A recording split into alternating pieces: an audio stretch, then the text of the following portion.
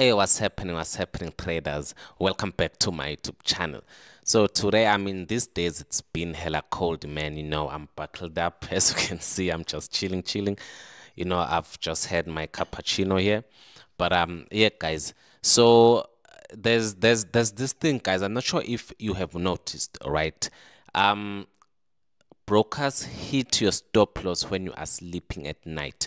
Most brokers not all brokers, but some of the brokers do what they actually hit your stop loss when you are sleeping at night. Hence, that is why I also switched over to triple AFX because dog, I never really saw that thing happening, right? So triple AFX has been like, you know, uh, uh, treating me well and stuff like that, right? So yeah, that doesn't really happen quite often, right? So, you know, I just sleep peacefully, wake up, my trades are still, you know, running well. But dog, a lot of these famous brokers, while you are actually sleeping, they'll definitely hit your stop loss, right? So you, know, and funny thing or sad thing is, you know, they hit your stop loss, and then when you wake up in the morning, you check, could see right now your take profit would have been hit, or you know, you'd be running in deep, deep profits and stuff like that, right? So you know, that's that's actually sad. You feel me to to to actually see.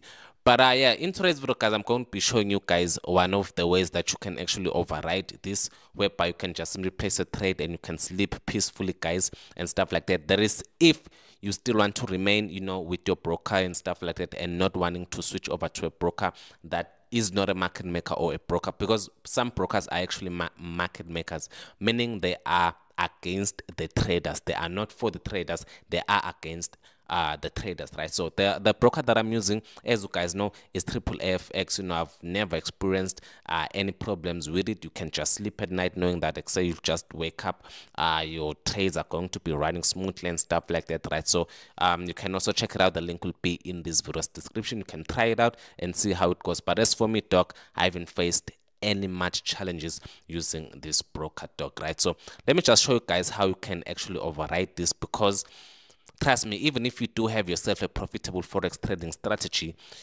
you know, if this continues on happening, you're not going to be profitable, right? So you need to place trades and you know your trades have to run smoothly and stuff like that right so without me talking much let me just quickly show you guys how you can override this thing that brokers do to some of you guys so guys, there's this thing that is called online wallet. So instead of funding your trading account, you might actually want to fund an online wallet. For instance, let us say that you had planned to fund a trading account with a thousand US dollars, right? So let us say that you are going to take the thousand US dollars and fund maybe and put that uh, thousand US dollars on Skrill, uh, PayPal, PayPal, or crypto address, etc right so depending on which deposit method your broker actually uh, uh, um, um uh, accepts here right so now instead of finding this thousand us dollars to your trading account and let us say that you are going to risk maybe say 10 percent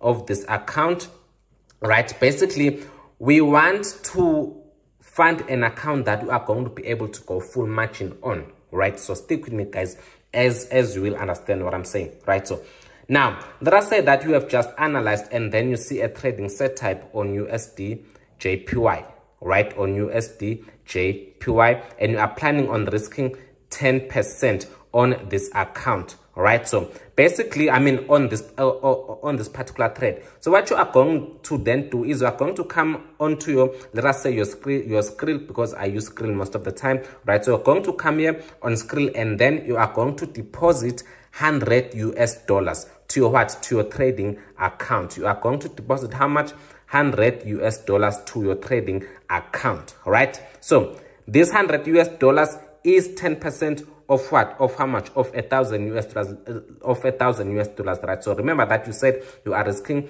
10 percent of your trading capital right? So we didn't fund the thousand us dollars on our trading account but we funded it on Skrill, right?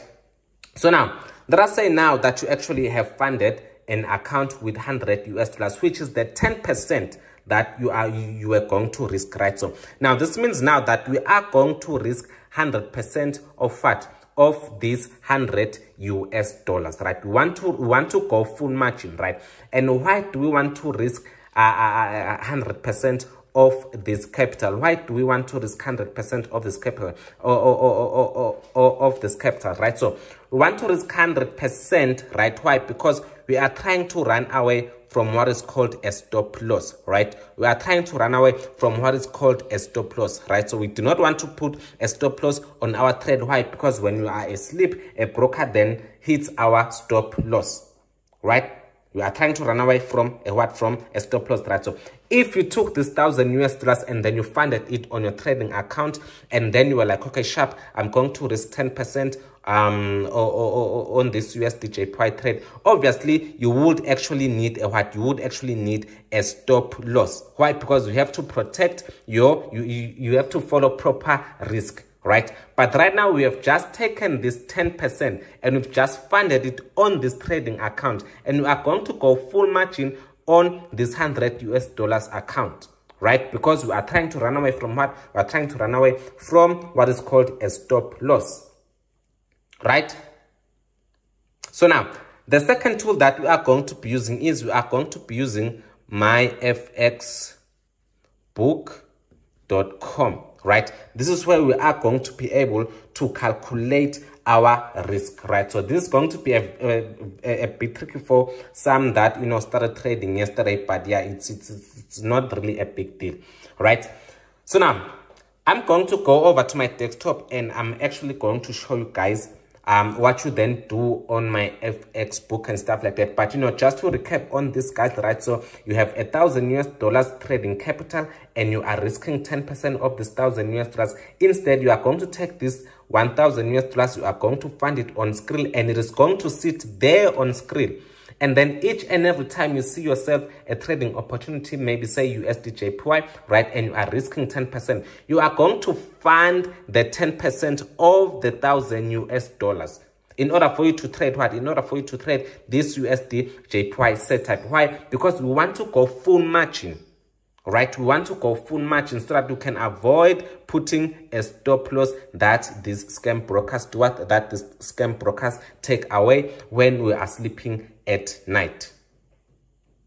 Right? So let me just go over to my FX book, guys, and let me show you what I'm actually talking about. Okay, guys, so I'm on my desktop right now, and as you guys can see, we are on myfxbook.com. so basically here guys you can clearly see that it is written where currency pair whereby right now we are trying to calculate um the the the the, uh, the lot size that we are supposed to use in order for us to risk um, in order for us to risk uh, uh, uh the whole of our 100 US dollars so that we cannot put a stop loss. We are running away from putting a stop loss, right? So now, um, what you come here, currency pairs, you guys can see there, you just simply put USD, JPY, uh, USD, JPY, okay, USD, JPY, there we go, right? And our account size, right, we have a hundred US dollar account right there, remember. And then our risk ratio is 100%. We want to go full margin so that we can not put a stop loss. We do not want our stop loss to get stopped out while we are asleep, right? And then our stop loss right there, you just simply uh, uh, uh, uh, uh calculate your entry point and where where you where you would have put your stop loss, right? Excuse me, right? So let us say that your stop loss would have been 25 pips, right? And then you go to calculate right there. There we go. So you can clearly see that uh where it's where it's say, saying sizing it is saying 0.61 lots. So in order for us to go full margin in, in order for us to risk all of our 100 us dollars we have to use lot size 0.61 guys right? So simple as it is guys right? So you then apply this right? You then apply that. So now when your stop loss is meant to be hit when your stop loss is meant to be hit that is when probably your your account is going to do what? Is going to blow. Right? When your stop loss is hit that is when your account is going to be blown. Right? So you know let me just somehow try and uh, unpack this for you one last time in a manner that you can basically understand it. Right? So remember we said that you know brokers they take out your stop loss when when you are asleep at night right so now you are going to be risking 100% of that 100 US dollars, right? And when your stop loss has to be hit, that is when your 100 US dollars account is going to be blown. Remember, here we are just running away from putting a stop loss. Why? Because these brokers, they take out your stop loss. Not all of them, they take out your stop loss um, when you are basically asleep. So let me know what you think about this way of trading, guys. You know, let me know if this is going to help you or not. But you know if you want to switch to a broker that doesn't do this you can just simply go to triple afx guys. You know i'll also leave the link in this video's description. You can check it out. See you on the next one. Goodbye